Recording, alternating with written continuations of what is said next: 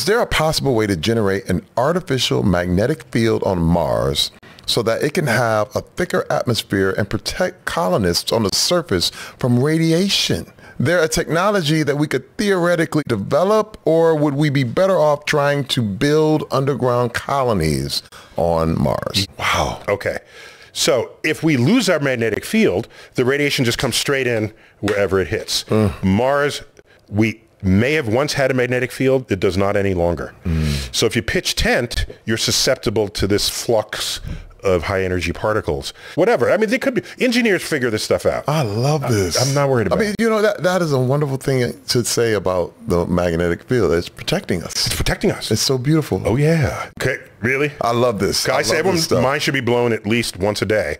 That, that's a quote of mine. Yes. I'm just saying. Okay, you ready? Hit me. Okay.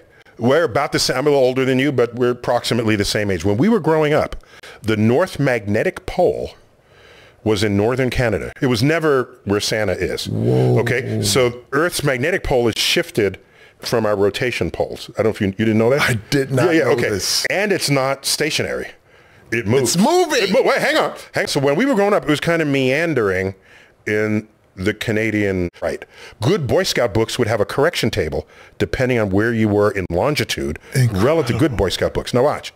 You check it lately. That North Pole has been moving and it is now passing the North Pole on its way to Siberia. What?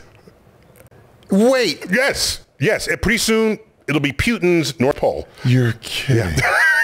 okay. All right. The boy controls enough in the world. That's a tilt. That's, okay. The tilt meter just went. Okay. I can't believe all right, it's so moving. Now, on top of all that, the magnetic field is getting weaker. Oh. And we think it's going to get weaker and weaker until it goes away. And then when it comes back again, it'll be in reverse because it flips every time. Oh my God. Now, check this out. You know how magnets work, right?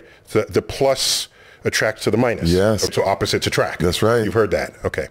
If you have a compass with a north, you know, with a little needle and one, and there's a north side of the compass, mm-hmm that would point to our north magnetic pole. However, that is a north needle on the compass. Yeah. Why should north point to north? It's not supposed to. I know. Which means Earth's south magnetic pole is in our north.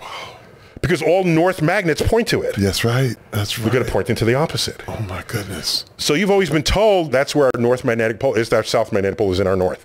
Oh. So okay, so now oh.